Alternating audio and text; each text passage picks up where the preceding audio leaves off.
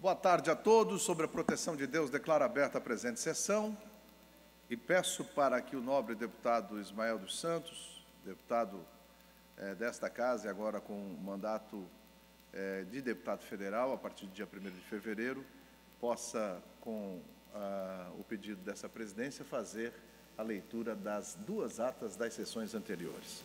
Obrigado, presidente. Boa tarde a todos e a todas. Ata da centésima sétima sessão ordinária da quarta sessão legislativa da 19 legislatura da Assembleia Legislativa do Estado de Santa Catarina, realizada em 25 de outubro de 2022. Na presidente, deputado Kenny Nunes. Na secretaria, deputado Padre Pedro Balduceira, Ricardo Aldo, Rodrigo Minotto. Às 14 horas do dia 25 de outubro do ano de 2022, nessa cidade de Florianópolis, capital do Estado de Santa Catarina, reuniu-se a Assembleia Legislativa em sessão ordinária. Havendo coro regimental, o senhor presidente declarou aberto os trabalhos e convidou o senhor deputado Pedro Baldiceiro, terceiro secretário, para proceder à leitura da ata da sessão anterior que, em consonância com o parágrafo 1 do artigo 106 do regimento interno, o senhor presidente deu por aprovada. Expediente, o senhor presidente solicitou que se procedesse à distribuição. Para as comunicações, fizeram uso da palavra o senhor deputado Pedro Baldiceira e Maurício Scudrac. Grande expediente. Não houve inscritos para o horário destinado aos partidos políticos. Ato contínuo, o senhor presidente suspendeu a sessão até às 16 horas. É aberta a sessão, o senhor presidente adentrou no próximo horário.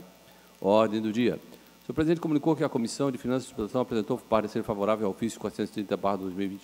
Foi aprovado em turno único o projeto de conversão em lei de medida provisória número 256-2022. Esse ofício foi aprovado em turno único o projeto de conversão em lei de medida provisória número 255-2022, com emenda aditiva. Nada mais havendo a tratar e antes de encerrar a sessão, o senhor presidente convocou outra extraordinária para 16 horas e 6 minutos para constar o segundo secretário lavrou a presente ata. Faço leitura, senhor presidente, da ata da 19ª sessão extraordinária da quarta sessão legislativa da 19ª legislatura da Assembleia Legislativa do Estado de Santa Catarina, realizada em 25 de outubro de 2022, na presença do deputado Ken Nunes, da Secretaria do deputado Ricardo Alba e Rodrigo Minotto. Às 16 horas e 6 minutos do dia 25 do mês de outubro do ano 2022, na cidade de Florianópolis, capital do Estado de Santa Catarina, reuniu-se a Assembleia Legislativa em sessão extraordinária. Ordem do dia.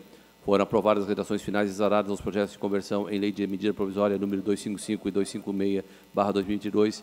Foram aprovados os pedidos de informação número 414 a 418, barra 2022, e as moções número 818, ou melhor, 819 a 825, barra 2022, e os requerimentos número 1565 a 1567, 2022.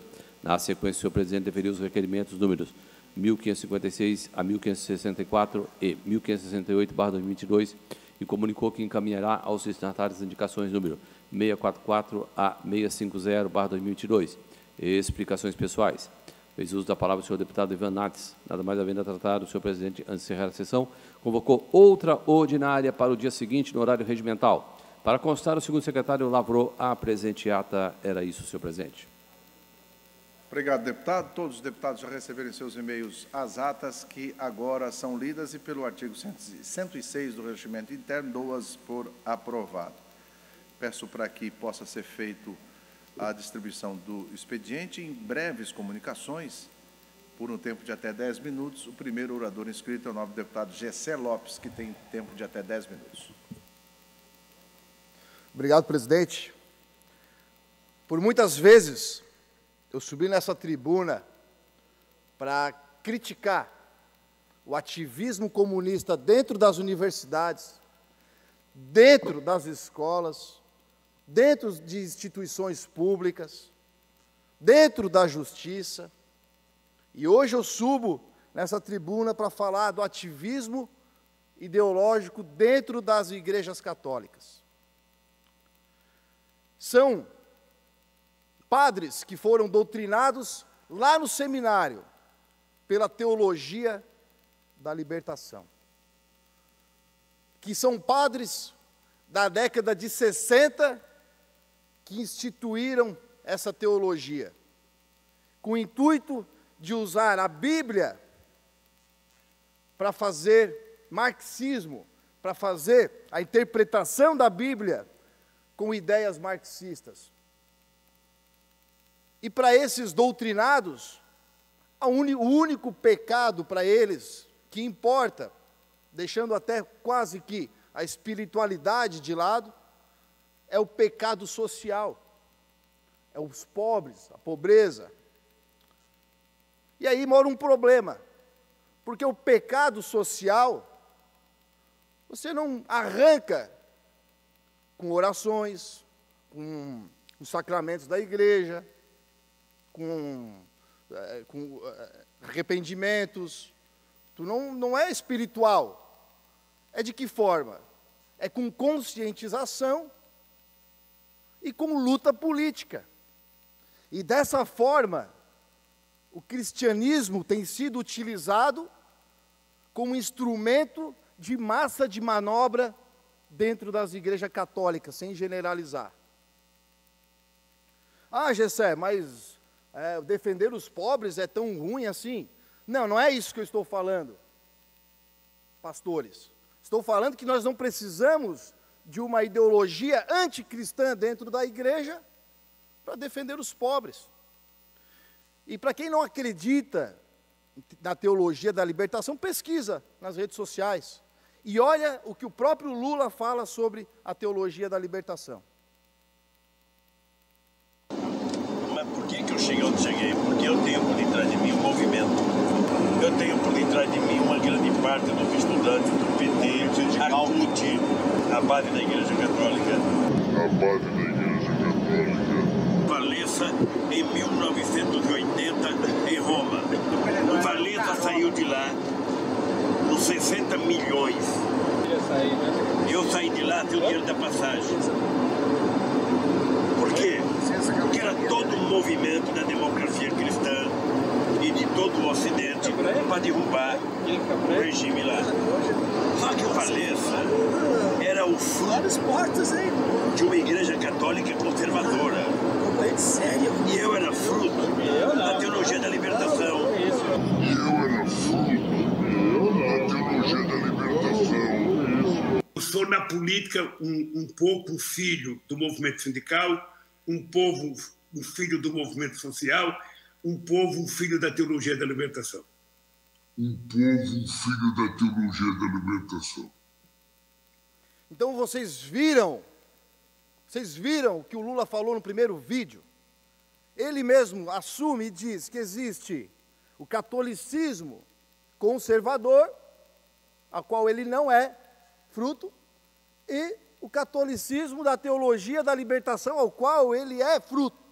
Ele mesmo assume que existe essa vertente dentro da Igreja Católica. Ah, Gessé, mas como que pode um padre defender é, um, um, um candidato que, que carrega com ele movimentos que querem destruir a família? Aí é que está a diferença de quem defende os pobres e de quem usa os pobres. É por isso que vocês vê, gente, entidades e agentes da justiça defendendo e apoiando um corrupto.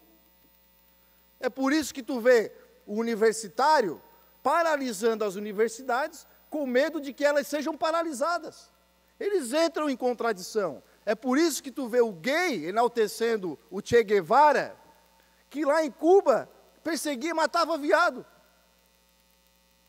E é por isso que tu vê dentro das igrejas católicas, padre, em nome dos pobres, defender um Lula que carrega consigo a destruição da família.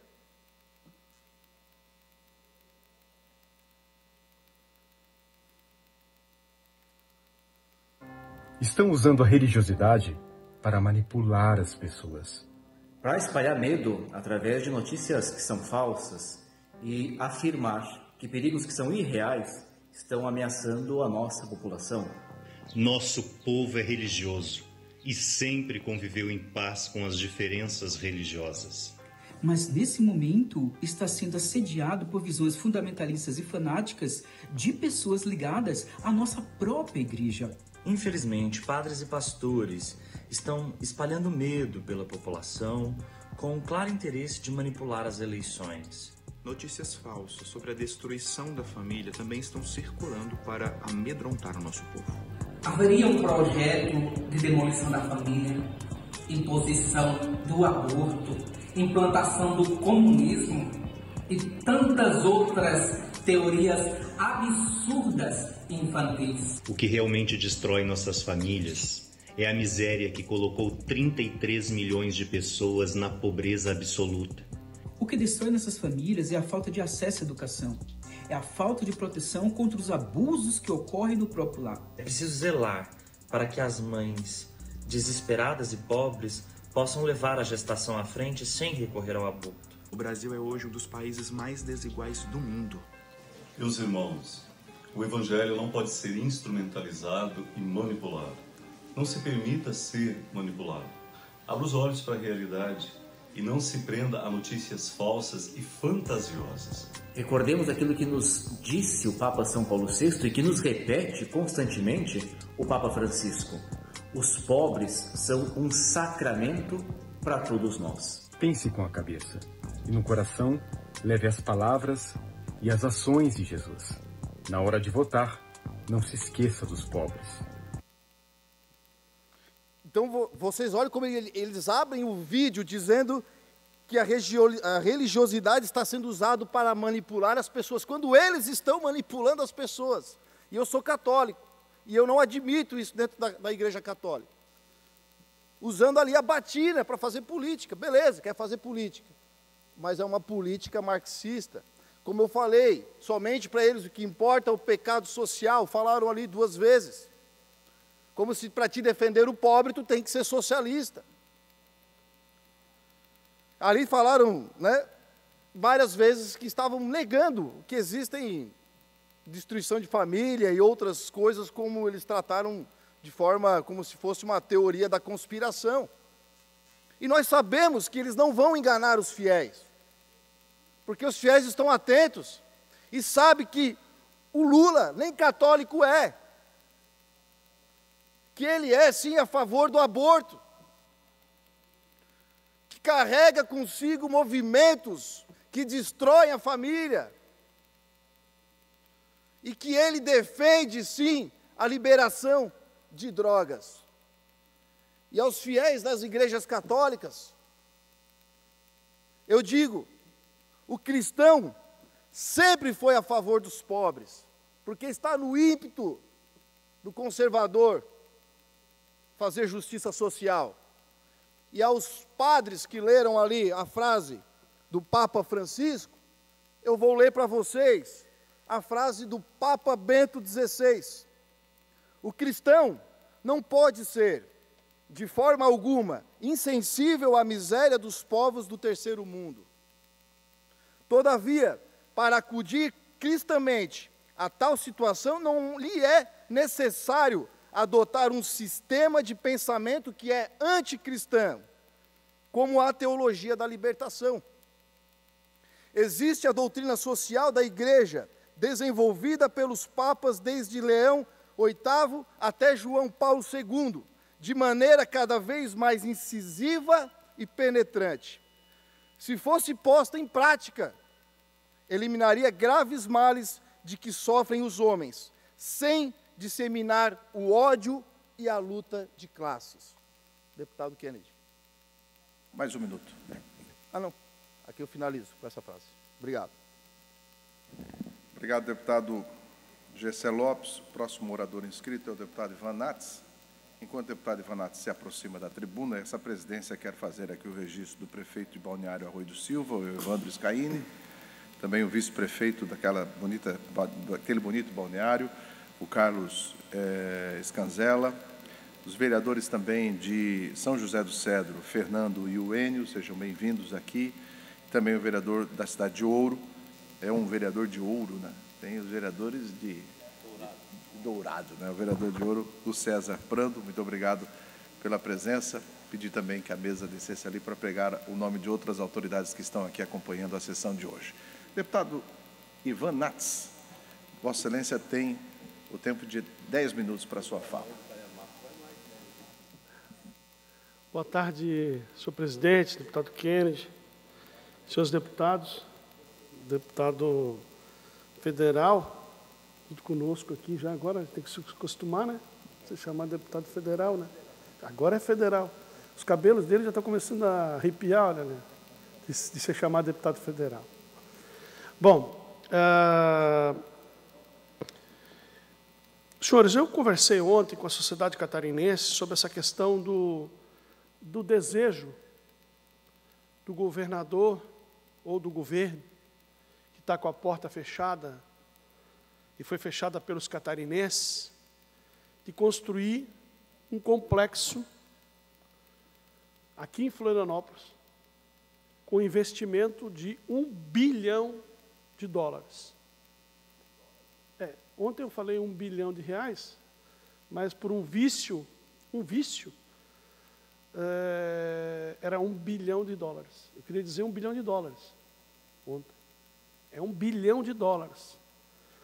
O governo, o governo teve a ideia em julho, em julho, de criar aqui em Santa Catarina um complexo hospitalar que vai envolver aí, não se, não, não se discutiu muito bem com a sociedade, o Hospital Joana de Guzmão, a maternidade de Carmela Dutra, o Hospital Celso Ramos, o Nereu Ramos, criando uma estrutura hospitalar financiada pelo Banco Interamericano com investimento de um bilhão de dólares. O, os envelopes serão depositados dia 9 de dezembro e o resultado vai ser conhecido dia 16 de dezembro. 16 de dezembro. Uma coisa começou em julho, está pronto. Nós estamos checando agora aqui, verificando tudo que passou por aqui, verificando como é que está a questão no TSE, qual foi a posição do Tribunal, do Tribunal de Contas do Estado a respeito dessa proposta. E, e senhores deputados de Santa Catarina, Amanhã, no domingo, nós teremos eleição. Nós teremos um novo governo do Estado. Será que o novo governador, seja ele qual for, não tem que decidir sobre isso aqui? Não é dele a competência para decidir sobre essa, essa proposta? Será justo que um governo que teve a porta fechada pelos catarinenses possa assinar no dia 16 de dezembro, um contrato de um bilhão de dólares para construir um complexo hospitalar aqui na capital. Está todo mundo acompanhando o processo eleitoral. E ambos os candidatos falam em fortalecer a saúde pública regional. Quero falar aqui do, do meu candidato, o senador Jorginho Melo, que está nas pesquisas com maior intenção de voto, deve ser, com certeza, homologado o novo, votado o novo governador de Santa Catarina. Ele tem dito reiteradamente que a proposta dele é fortalecer as parcerias públicos-privadas e os hospitais filantrópicos, acabando com, a, com o que já nós já conhecemos de outras campanhas, chamada ambulância terapia, ou seja, tirar o sujeito lá de Chapecó trazer para Florianópolis, tirar o sujeito lá de Xanxerê trazer para Florianópolis, tirar o sujeito lá de Bela Vista do Todo trazer para Florianópolis tirar o cara lá de Mafra, trazer para Florianópolis. A ideia do senador Jorginho Melo e até do nosso concorrente é de fortalecer os hospitais locais.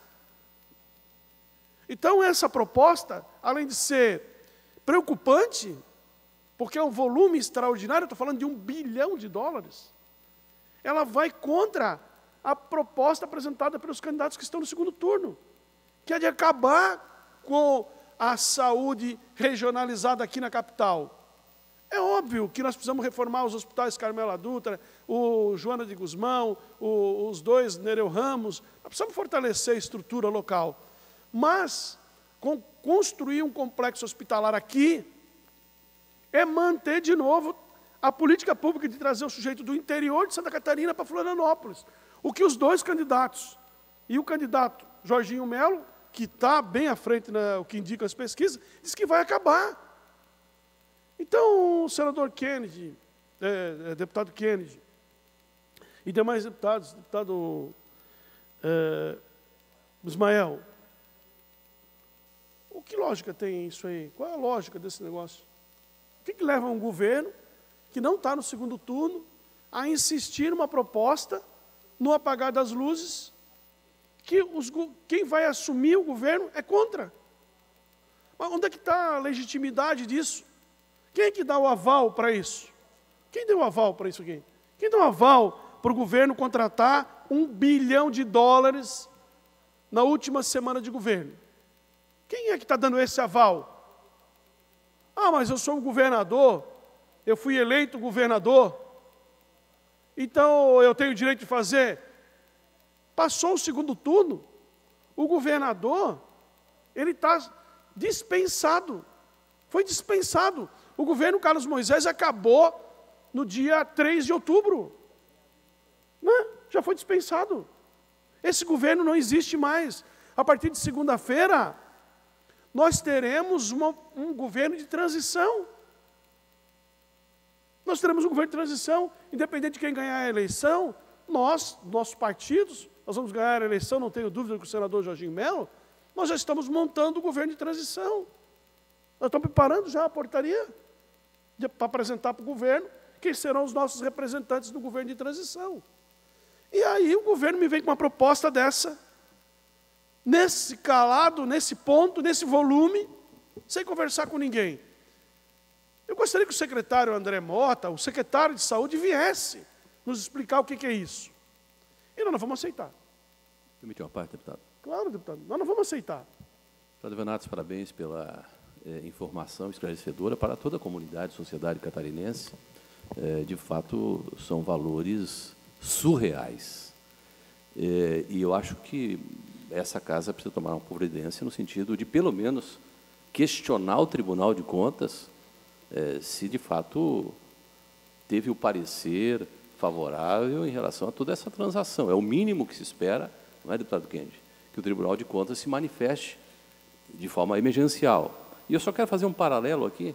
Com esse recurso, nós poderíamos não só fortalecer, claro, os hospitais é, filantrópicos, mais de 170 hospitais, enfim, regionalizar a saúde, como é, de fato queremos e desejamos, mas eu vou dar só uma obra que é fundamental para Santa Catarina, que poderia ser feita com esse recurso. A Ferrovia do Frango, ligando São Miguel do Oeste aos portos de Itajaí, de Navegantes, estravando é, é, a, a 470, enfim, alavancando toda a economia e o turismo de Santa Catarina, é preciso repensar rapidamente essa ação do governo. Bom, com certeza, deputado é, Ismael. Ah, eu não consigo compreender é, por que o governo insiste numa proposta dessa. Nós temos que pedir ao governo que suspenda imediatamente. É, o pedido meu, eu tenho certeza de muitos deputados, talvez da própria Assembleia, é de que suspenda isso imediatamente. E vamos deixar para o próximo governador decidir o que ele quer fazer com relação a isso. Talvez a proposta mais adequada seja o financiamento para fazer o projeto, como disse o senador Jorginho Melo, da, da rodovia do Frango, ou possa fazer o anel de contorno aí em Itajaí, que é uma obra essencial. Nós estamos parando uma hora entre Balneário Pissarras e Balneário Camboriú para poder chegar na capital. Será que esse um bilhão não é muito mais salutar numa obra como essa? É um bilhão de dólares. cinco bilhões de reais. Será que isso não é muito mais proveitoso?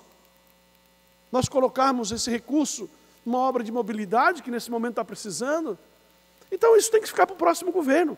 E, deputado Ismael, eu procurei no CGA desse processo, não encontrei o parecer, não está disponibilizado o parecer do Tribunal de Contas. Não está disponibilizado. Se tem, não é público. Se tem, não é público. Então, voltei aqui para insistir para a Assembleia Legislativa, para a imprensa, para a sociedade civil organizada, se aperceber desse processo. Não quero fazer aqui acusação, já fiz ontem. Mas eu, eu quero que me explique porque o governo, no apagar das luzes, pretende fazer esse contrato. Eu imploro ao governo de Santa Catarina, eu peço ao governo de Santa Catarina que tenha sensibilidade e suspenda imediatamente esse processo. Porque se isso não acontecer, nós teremos que ir ao Poder Judiciário e será mais uma perrengue judicial para poder, para poder parar isso aí. E se Vossa Excelência me der mais um minuto, nós estamos com tempo. Queria pedir aos catarinenses que tenham responsabilidade esse domingo, façam um voto. Nós precisamos que as pessoas compareçam às urnas e façam um voto alinhado. Façam um voto alinhado. Façam um voto governo federal e governo estadual.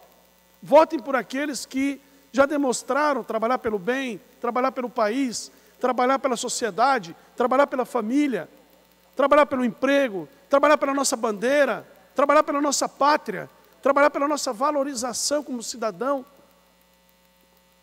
Um governo que é efetivamente comprometido com esse país. Um, um governo que é comprometido com as nossas cores. Um governo que lá em Brasília vai fazer o bem para o Brasil e um governo que aqui em Santa Catarina também vai fazer um bem para Santa Catarina. Alinhar forças. Nós já somos o maior partido do país, o PL. 100 deputados estaduais, federais, 100 deputados federais.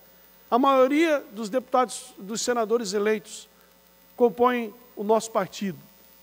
E o alinhamento partidário, o alinhamento de números, só vai trazer benefícios para Santa Catarina e só vai trazer benefícios para o nosso país. Sejam responsáveis e compreendam que o país precisa de cada um dos brasileiros de verdade, brasileiros que amam esse país. É hora de ir às urnas, votar, mostrar nosso amor por esse país e mostrar também que nós queremos estar alinhados com o governo federal. Esse é o nosso desejo, senhor presidente. Muito obrigado. Obrigado, deputado Ivan. Deputado, eu estava pensando aqui que uma das saídas que Vossa Excelência poderia fazer era fazer um ofício ao BID, é, esclarecendo o Banco Interamericano desse problema que está vendo. É muito grave isso. Né? Por quê? Porque existe um governo que está de saída e que deixaria, ou um processo desse, que é uma armadilha. Porque se o presidente, se o novo governador for fazer, ele não sabe em que condições foram feitas, e se disser que não foi feita, é mais uma dessas mentiras do governo atual dizer que fez aquilo. Me lembro muito bem do deputado Bruno, que veio aqui para dizer que ele inaugurava a pedra fundamental de obras que não tinham nada a fazer. Então é bom avisar aos que estão interessados nesse processo que vai dar problema. Eu, se sou um investidor, ao ouvir uma manifestação sua, de alguém forte do governo que tem tudo para assumir, eu já não entro no processo. E mais ainda, como se trata de um financiamento inter, internacional, acho que um ofício da bancada de vocês ao tribunal com cópia ao, ao banco vai fazer com que pelo menos os técnicos tenham uma manifestação para rever isso daí. Acho que nem, acho que nem, nem precisa entrar na justiça, porque isso daí é mais uma daquelas fake news de, de campanha, né? E que passa e daqui a pouco vai ficar. Deixa eu fazer um, um, uma, um registro de presença dos vereadores do belíssimo balneário Rincão, que foi por muitos anos na minha infância a minha praia, né? lá na Lagoa dos Freitas lá. Eu quero fazer aqui a presença da vereadora Marlene Locks, que está aqui, junto com os vereadores Luiz Carlos é, Bittencourt e o Ednilson Carlos. Sejam bem-vindos aqui a esta casa. É, não havendo mais oradores inscritos, e com relação ao. Nós já passaremos ao horário dos partidos políticos, mas também o horário dos partidos políticos. Não, não sei, deputado Ismael, quer usar o tempo?